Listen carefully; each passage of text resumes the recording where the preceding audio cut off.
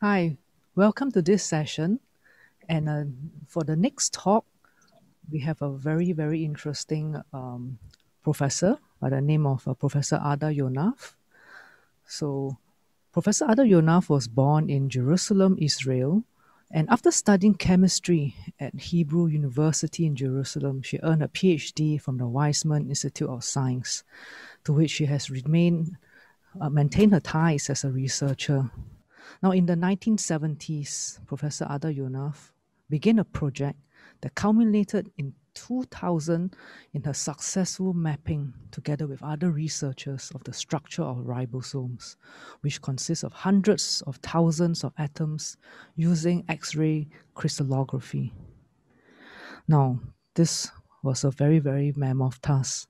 Despite steep odds and widespread derision, she persevered she overcame the instability um, problem by using ribosomes from tough bacterial strains found in the Dead Sea, hot springs, and nuclear facilities waste. And after 25,000 searches for the right crystallization conditions, she succeeded in obtaining the crystals. For her seminal work, Professor Yonath was awarded the 2009 Nobel Prize in Chemistry. And today, should be telling us some of the interesting findings called the fruits of curiosity. Professor Ada Yonath, please. Thank you very much. Thank you for inviting me. Uh, until now, I came to, to Singapore to GYSS meetings many times, but it's the first time that it is on flat Zoom. So you, you heard what I was interested in, and I will show you now the type of uh, of uh, um, science we are doing and the results. So let me just share the share the screen. Okay, so the unified process is for, for producing proteins is going from the, the genetic coding DNA, transcribe it into RNA because here the code is inside the, the double helix. This the colored lines. You can see that there are only four colors and each color is uh, representing one letter in the genetic code. Each three of them are uh, coding for one amino acid in proteins. We'll come to it later. But the code here is masked by the structure. And therefore, the first, uh, the, the first uh, um, act in producing proteins according to their genes is transcription to a very similar molecule called messenger RNA or it's an RNA molecule that can exist also as a single strand, not only double strand like DNA, and therefore it is uh, readable by the ribosome that produces accordingly, translates it to proteins. So we like to, once we, we know how ribosome works, we like to represent it as a factory that makes proteins, like uh, in, in here the, the right side of the slide. And it is made of, sorry, of two, oh, of two floors. In the top floor, the messenger is being read. It means when three nucleotides that are coding for an amino acid that is brought by trucks, which are also RNA molecules, transfer RNA or tRNA, when a code here, three nucleotides that code for this amino acid is coming to be translated. This amino acid will be, will be connected to the newly grown protein in the lower, in the lower floor. So the upper floor is for decoding. And peptide bond, the bond between two amino acids or all amino acids is done in the lower floor. Uh, this this uh, arrow had to be inside, but I don't know to draw inside, so please forgive me. and imagine that it happens in the lower floor. Then the protein will be one amino acid longer. The messenger, the message will progress by three nucleotides, it means one codon. And the, the track that carried the amino acid will go out empty. And the whole, the whole uh, process takes a little bit of energy. It's very efficient, but it needs energy. And uh, uh, then all the, all the uh, participants in this process are ready for the next amino acid. So the two, the two floors of the, of the factory are actually in the ribosome two subunits, the small subunit and the large subunit, SSU on top and large on the bottom. This is the way it is. Oh, I can't understand what happened, okay? So ribosomes are built of two subunits. As I, said earlier, they associate to a single particle for translation when it's needed, when the, when the cell needs it. The small subunit decodes, as I said earlier, and the large subunit makes the, in the large subunit, the, the bonds are being formed. So uh, in vivo, there are many, many ribosomes and they are continuously they can make 40 peptide bonds. It means the bonds between the amino acids, the letters of the proteins, 40 of them in one second with hardly any mistake. Mistake between half a million to one million means hardly any. It, as I said, it can make up to 40 bonds in one second. I, as a very fast student, needed six hours for one bond. So as you saw earlier, the ribosome is made of two subunits. The, the small one that decodes and the large one where the, the bond is being made. They are connected by many contacts between them and by the tRNA that from one side it's, it has the codon and from the other side it carries the amino acid the decoding center is where the codon is being read, and the PTC, which is peptide bond formation site, is where the bonds are being made. So once we understood the structure, once we determined the structure, we also understood the function.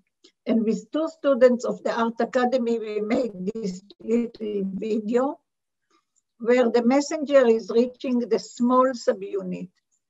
And you can see that on the small subunit, there is this blue thing. This is an initiation factor. Bacteria had, has three initiation factors. We have many more. So the ribosome will not start working unless it is being initiated by several factors. You see one of them. And the messenger, this is the line going into its path within the small subunit.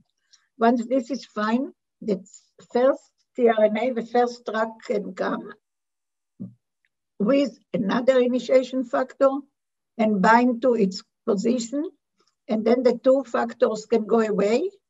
Here is the tRNA with the amino acid and the large subunit is coming to the small one making contacts, making bridges, and the active ribosome is being formed. You can see it here in solution on top the large, below the small. And the amino acids are brought by tRNA with elongation factors into the ribosome. They are being decoded, decoded on one side, and the peptide bond is being made on the other side of the tRNA. And the ribosome helps in, out, in, out, as you can see. So we took away the last subunit. You can see the decoding being done here on top. And the peptide bond being done here between the amino acids. And the newly born protein goes into a tunnel, which exists only, sorry, it's the only thing that we show from the large subunit. So now we can see the whole ribosome again. The large subunit is in place. You can see how the ribosome helps in, out, in, out, 40 times a second. And the protein, this blue thing is coming out from the lower part, coming out and folds to its correct or almost correct uh, folding with or without help of chaperones. And the whole process continues until there is a stop codon and then a release factor, this, uh, this uh, gold thing comes in, finishes everything, release the two, the two subunits, and the protein, this blue here, the, the blue round thing, the globular, goes to do what it needs, and the rest of the system is waiting. Very, very simple and very clever way. So actually in the movie you saw something not very well defined, that the ribosomes are well defined and we know exactly each of their components. Most of them are made of RNA, again, RNA, ribosomal RNA, which is now in green in the small subunit and in the large subunit, and ribosomal proteins that we show here in many colors, and there are 80 of them. So the decoding happens in the small one and peptide bond in the large one, as you could see earlier. So there is a huge number of ribosomes that function in each cell. Mammalian cells may contain millions, like five millions in the liver cells. Even bacteria contain about 100,000. Because of the vital role played by the ribosomes, almost half, over, over 40%, almost half of the clinically useful antibiotics target protein biosynthesis, mainly by paralyzing ribosomes. So actually the natural antibiotics are the weapons that one organism, one microorganism is using to fight another one. And we are taking advantage of it. And I will show you four examples for how the ribosomes work. So uh, immediately after we determined Bisarcher, we did also that. This is Edeine, a very small antibiotic, this yellow thing that disturbs the messenger RNA, blocks the path. That's all what it does. The second one is also very small. Actually, all of them are small, and it occupies the position of the second tRNA. One is bound and the second cannot bind because its position is occupied. It's called tetracycline. The third one that you will see is uh, this is going into the tunnel, the tunnel through which the newly born protein goes out of the ribosome, it blocks it. You see it blocks it, just sitting in the tunnel and blocking. And there is a whole, a whole family of antibiotics coming out of this one. It's called erythromycin. It came into use directly after penicillin, the first of ribosomal antibiotics. And the large one, the last one that you will see is the cleverest. It goes into the bond, into the position of the bond. See here, just sitting in the bond. So these are clever antibiotics that are designed by bacteria against bacteria, and we are using those that don't disturb the, the, the human or the animal, the eukaryotic ribosomes. Just to remind you, we saw four types of antibiotics. They all, they all disturb the ribosome, either at the decoding, the bind here. All these bubbles show positions of antibiotics or in the bonding, where the bond is being made, or in the tunnel, or those that disturb these motions that you saw in the movie. The, these are the, the four uh, most common positions of antibiotics. Since antibiotics are, are sorry, since the ribosomal active sites are hardly conserved, antibiotic selectivity, it means the clinical usefulness of antibiotics is based on minute variations in the ribosomal active centers. And I will not show details now, just telling you. But I do want to talk about resistance to antibiotics, which is one of the most severe problems in modern medicine. And I'm sure that you know it, but I must say it. And I want to highlight how it is being formed. The bacteria profit from accidental mutations. They have many mutations, and once there is a mutation that develop, develop a resistance or cause resistance, this is the mutation that will stay. These are type one type of mutations. There are actually several types, but it does matter. There is resistance now to all of them, and resistance grows from probably from minute to minute, most likely. So it seems that we will revert back to the pre-antibiotic era during to the resistance caused by parasites by the simple or severe infection. And people will die from it in young age, like pneumonia or wounds. These were almost untreatable and resulted in frequent deaths in the past. And the World Health Organization called it post-antibiotic era and consequently, the World Bank estimated that up to 3.8%, almost 4% of the global economy will be lost by 2050 because of resistance to antibiotics. It means now there is pandemic and a virus and all what you know about, but there are also other problems in medicine and this is really a big problem, the resistance. Yet very few new antibiotics are in development by the most drug company. The most drug firms, the pharma companies have stopped attempts at creating antibiotics owing to the huge difference between the social value and the, it means our life and the high expense needed for creating new antibiotics. So you can see here in, in a the two tables. On the left side, the increase in drug resistance, about three types of uh, uh, pathogens, three types of bacteria. And in the right, the amount of new antibiotics. So this, this uh, uh increase talks about a 12 years difference between 1990 and 2002 and this, the number of antibiotics is the total since 1980 to 2014. Just this number, hardly any. So it's a, a problem and we decided to do whatever we can. So we have some most contributions toward controlling or combating antibiotic resistance.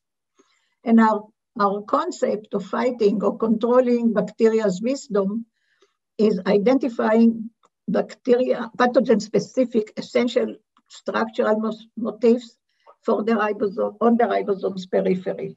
So let me say some, some words. bacteria's wisdom is the bacteria way of staying even in the in staying alive and even multiplying, even in the presence of antibiotics, because they can create resistance.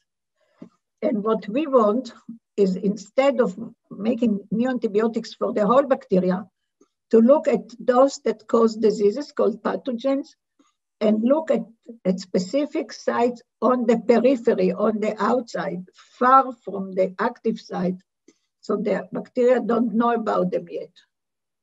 So for this, we determine the structure of ribosomes for pathogenic bacteria and compare them to ribosomes of harmless bacteria. And we had many lessons. And I'll show, will show you only a few of them. But the general lesson is that all bacteria ribosomes are similar. Sorry, excuse, excuse me, but not they are similar, but not, identif not identical. And we are looking at the difference between similar and identical. So uh, uh, lesson one, two, and three, I don't show, I show lesson four, which is beyond my expectations because we found novel antibiotic binding sites, new antibiotic binding sites, as I said earlier, on the periphery. So if you look at the left side, it's the skeleton in gray. It's the skeleton of harmless bacteria. And the little additions here in cyan are showing what pathogen, a pathogen, specifically Staphylococcus aureus, but it has a addition to the to the um, uh, normal, to the harmless large ribosomal subunit. So altogether is less than 8% addition, but it's not the number that matters, it's the fact that all these, there are other places, but all what I show here are on the surface and they have their own structural uh, shape, specific motifs. So if we look, for instance, at this one, in more detail, we can see that most of the, of the environment is identical, but this piece is extra. Here, this, this is this piece. So if it's extra, it may be a potential binding site. Actually, there are more potential binding sites on this. And uh, in, in a model system, we identified 25 new potential binding sites and we block them one by one. It means we, we made this like this thread, blocking this one and another one here, another, but one by one. And we found that 16 of them inhibit protein biosynthesis. And since these sites are not involved in primary, in primary ribosomal activity, pathogens have no genes against them. This means that so far no bacteria assigned vital role to these sites, but they are needed for the cellular uh, uh, uh, needs, cellular, cellular um, reactions. So, meanwhile, there are not there are no uh, antibiotics against, and there are no resistance against them, and we are employ, employing, employing them for making degradable antibiotics and envi that are environmental friendly. I didn't talk about this. I want to say a few words, but I want to show you some of these sites that uh, we, we, can, we could target. And I want to show you lesson number five, which is selectivity and similarities, mainly selectivity. I think that you all know about the microbiome, which is a collection of harmless bacteria residing in the flora of semi-exposed mammalian organs like guts and ears and lung and skin. Most of them are extremely useful, but they can be they can be um, hurt by the normal but the useful antibiotics, the currently used antibiotics. And our new antibiotics are not going to harm them because they're looking for specific pathogenic sites. Also, there are environmental and ecological consideration because most of the ribosomal antibiotics have uh, inter, inter, internally cores that are not digestible and also not biodegradable. So when they go out into the, into the environment with the sewage, there are some uh, purifying machinery that does not does not catch them because they are so small, so they can penetrate back into the irrigation system or even drinking system and increase being consumed and even more, make more uh, resistance. So the inhibition by the ours, by our newly identified potential sites was achieved by the molecules that we designed. And we could design them to be either uh, biodegradable or uh, not poisonous and so on. So, so far they are composed on, oligonucleotides, oligopeptides, and similar molecules. And we can optimize them in terms of chemical properties, but also in terms of antibiotic eh, action and in degradability. So in summary, the new insights obtained from these high resolution structures of ribosomes from a genuine pathogen provided unique chemical tools for several things, but uh, mainly for suggesting novel sites, which I uh, showed you, suggesting how to improve clinical performance. I didn't show you, but we did something in this uh, direction too. And for better distinction between pathogens and useful bacteria species. And what we are producing are pathogen-specific antibiotics that mean the design of antibiotics drugs specific for each and every pathogen, in contrast to the current performance of broad-range antibiotics. So we are aware of the problem, economical problems of, of uh, uh, companies that don't agree to do any new, any new type of uh, research on new antibiotics, but we hope that pharma companies will consider human aspect, aspects, not only profit. So what we want is to minimize resistance. We don't think that we can get completely rid of resistance, but we minimize it. And before I finish, I want to tell you something about a dream that I have, which is a blue dream. So this is the life expectancy in the world in uh, 10 years ago, you see that the, the highest is over 80 in Canada, in Australia, in North Europe, several countries, even in Israel. But that's not so important. Around 80, it's all the United States, and around this uh, also Europe. Even the green is not so bad, 75, which is young, but not as bad as Africa, which is still 40 to 45 years here. So my blue dream is that the, soon the world will look like all blue. So this is actually the end of my lecture. I just want to say that for uh, materializing my blue dream, a serious commitment, commitment of the pharma companies is essential soon. And if you know, any of you know about a company that wants to go into fighting antibiotic resistance, we will be very happy to give them all what, all the data that we already have. I also want to thank the Weizmann Institute that uh, let me work, although most of the world was laughing at me and said that it was a dream. The president that made it was Michael Sela, a biologist. When his term was over, a physicist, Chaim Harari, did not stop. And they were uh, encouraged by the Scientific Advisory Committee. I also want to thank Dr. Wittmann from Max Planck for Molecular Genetics in Berlin that was dreaming to see the structure of the ribosome. He arranged for us a working subunit in the synchrotron in Hamburg where we collected data, but he died 10 years before the structures came and it was replaced by Franceschi and then by Fucini. So I had two groups, one in Hamburg in the, in the synchrotron, one in Israel. So I want to thank all the group numbers that were determined and devoted throughout the, the research.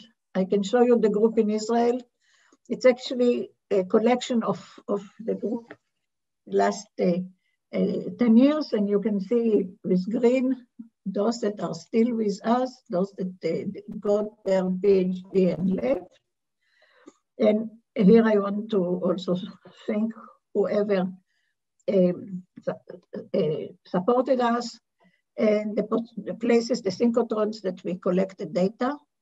I want to tell you that the person that runs the group, it's not me, it's Dr. Anat Bashan. She is the senior scientist.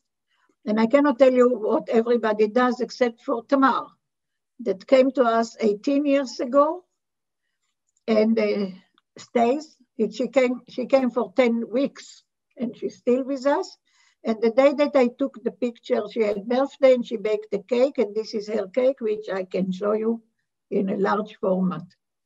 And it shows that my group loves ribosomes. They are considered sweet. Also, I want to thank my family.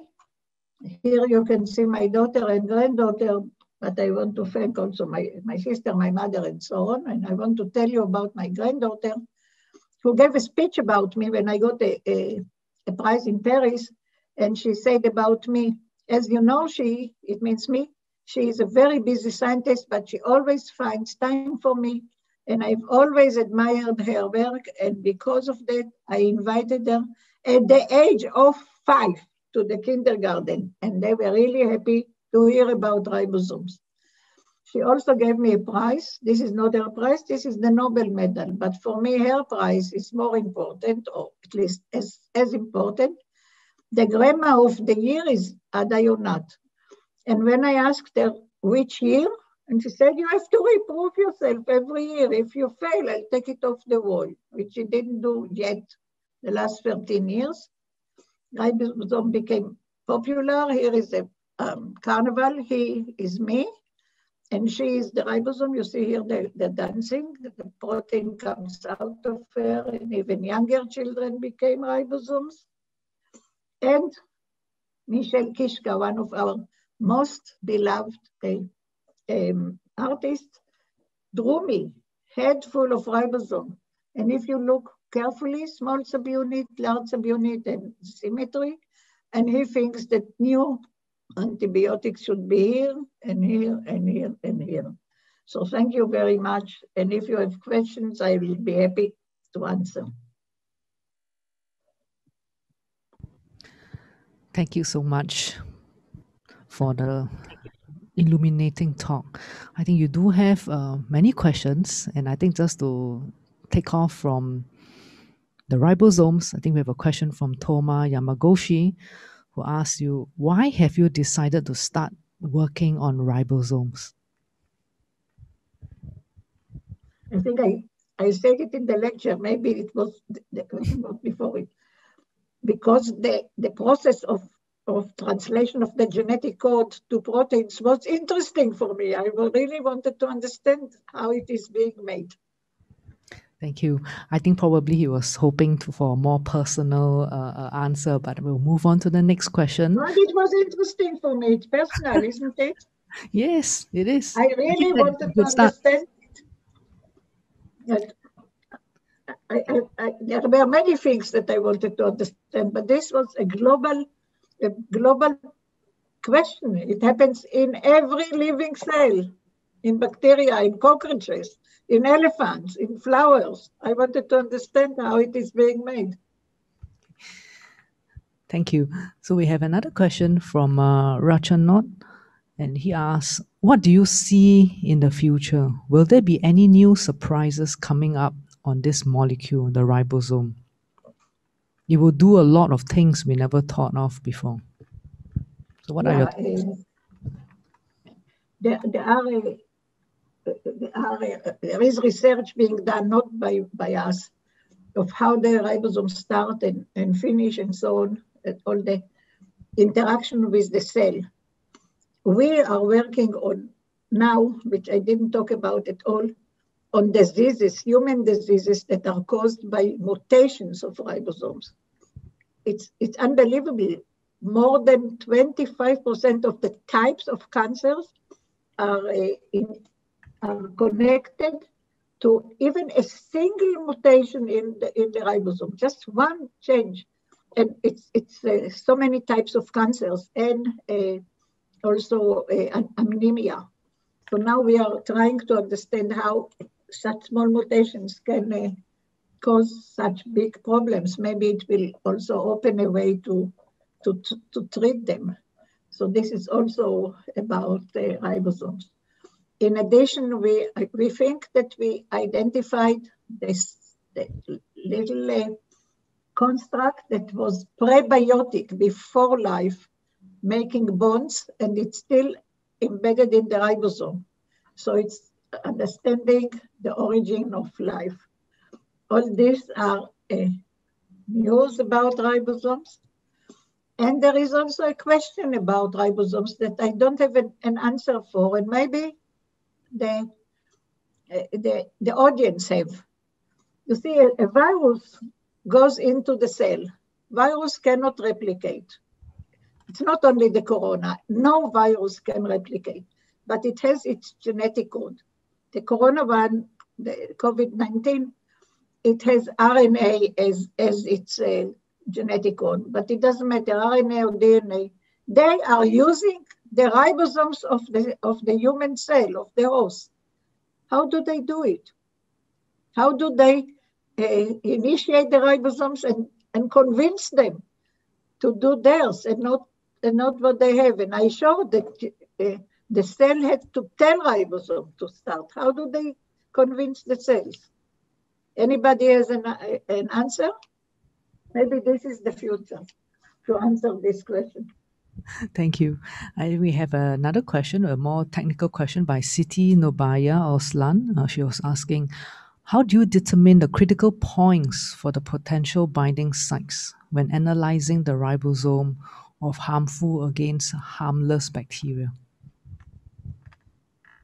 This is what we did for um, understanding resistance or, or uh, how, how, how do the harmless disturb uh, we, we compared. Okay. Um, we have a general question by Virginie Geoffrey. Uh, she asks, what do you think about AlphaFold and its future contribution in the antibiotic resistance fight? What do I think? I think that the way that the world is now suffering from it is very sad. And even more sad is that the companies don't want to do anything about it. Uh, I hope that we can do something. This is why we, we are trying so hard. Thank you.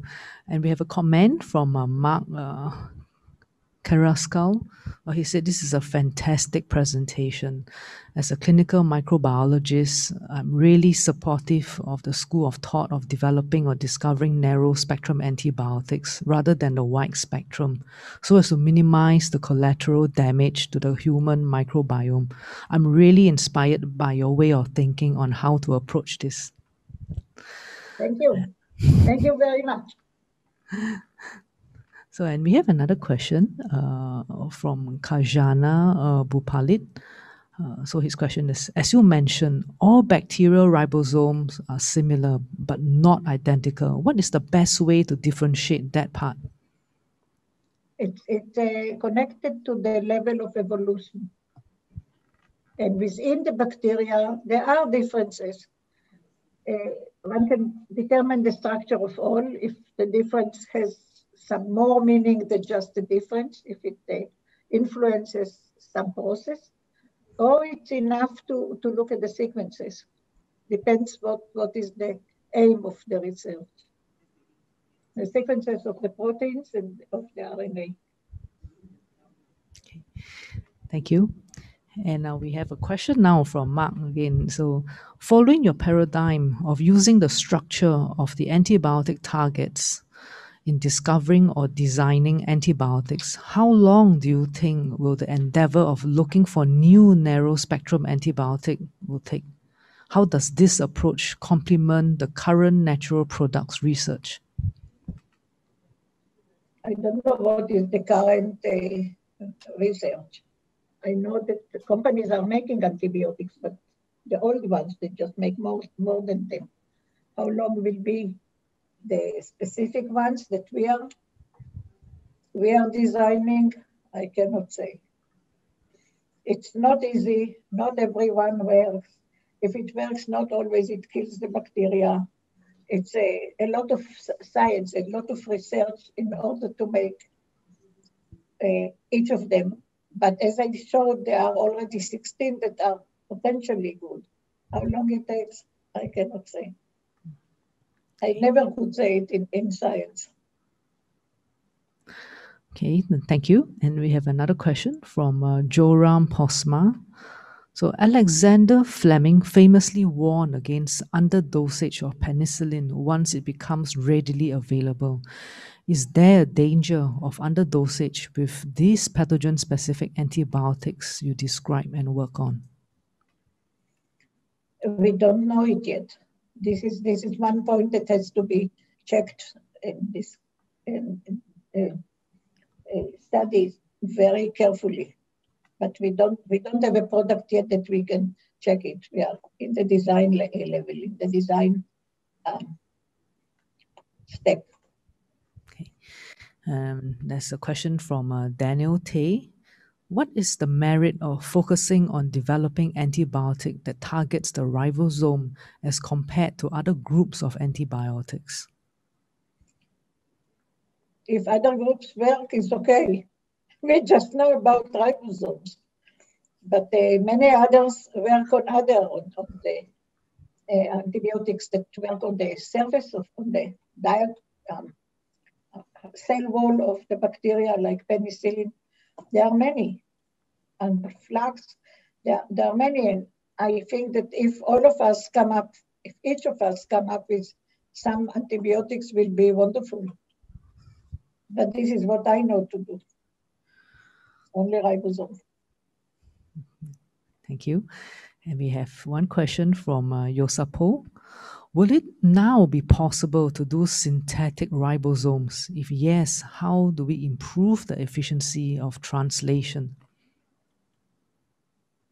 So I think today to improve the efficiency of translation will be very difficult because it's very, very, very um, efficient machinery. But to make ribosomes or to force ribosomes to make new materials, this is going on. And to, to change uh, the, the ribosomes a little bit in, in several regions, this is going on, not by us, but people are doing it. Uh, if it if it's going to, to be efficient, uh, I think that more efficient will be to uh, modify the genetic code or to make new genetic code or to make new amino acids that uh, uh, tRNA will be able to carry, and this is also being done, that they will be directed to specific uh, um, tasks. But to change the ribosomes, yeah, maybe in order to make amino acids, to, to incorporate larger amino acids if there is a a reason for it, but not, not much. More is what comes into the ribosome can be changed. Thank you. we have a question from Kriza Faye Kalumba. Do you see great potential in ribosome engineered probiotics? I don't know anything about this. I'm sorry, I cannot answer this question. It's Okay, I think we have uh, many, many notes of uh, thank you for amazing presentations while I'm scrolling down. Uh, great talk, wonderful. Um, and there's a question from uh, Ite Elgoff. Thank you very much for a great talk.